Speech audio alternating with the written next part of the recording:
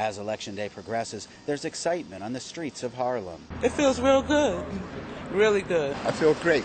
I feel like um, I'm part of the world now. It's exciting. I hope the excitement lasts beyond today. Many here say casting a vote for the first African American presidential candidate on a major ticket is one of the most significant events of their lives. This is history. It's history. A lot of people wouldn't think they would never see something like this. So. I think it looks wonderful. Rather he win or not, it's history to me. Someone told me that Rosa Parks sat down so that Martin could stand up and march. And Martin stood up and marched so that Obama could run. And Obama is running so that my children, grandchildren, great grandchildren can fly one day.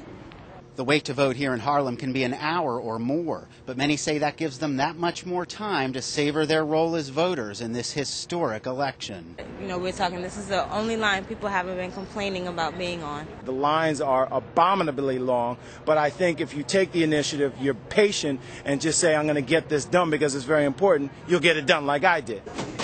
Poll workers say the lines in Harlem are partially a result of so many people voting in this election who never voted before. Ted Shaffrey, The Associated Press, reporting from Harlem in New York City.